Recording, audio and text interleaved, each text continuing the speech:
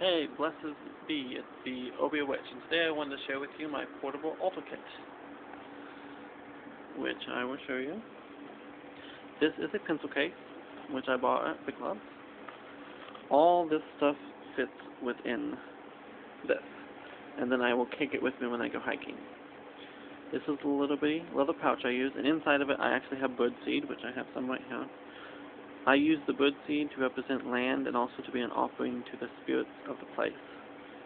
And then I have a little bitty chalice which I use for the sea, or in the ancestors, and then a feather which I use for the sky and for the deities. And then I have this which I use as kind of like a wand to direct energy if I'm doing such things. And then some crystals, some oak leaves, and a little bitty altar cloth that I just lay right onto the ground.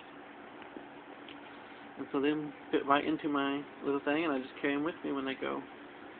Also, when I'm out in nature, I create a nematon. I don't actually cast a circle like many Wiccans do. And creating a nematon is just simply honoring a sacred grove with the three realms.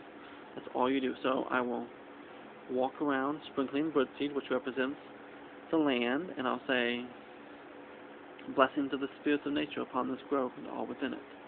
Then I'll walk around with water, which normally I'll get from a natural source, and sprinkle it around saying, Blessings of the ancestors upon this grove and all within it. Then I might walk in a circle around the altar with my feather, sweeping it out and saying, Blessings of the shining ones upon this grove and all within it.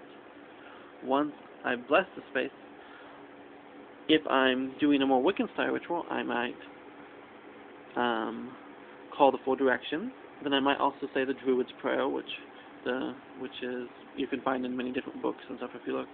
And that's it. And then when I leave the grove, I will simply ask that any energy left over the Wiccan would be returned to Mother Earth for its blessings. Real, real simple.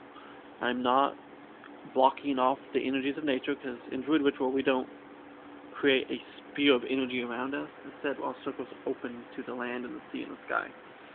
So we just create a nematon, which is simply honoring the realms. And then if I've called the quarters, I would release them, of course. And that's really it. Thank you. Blessed be.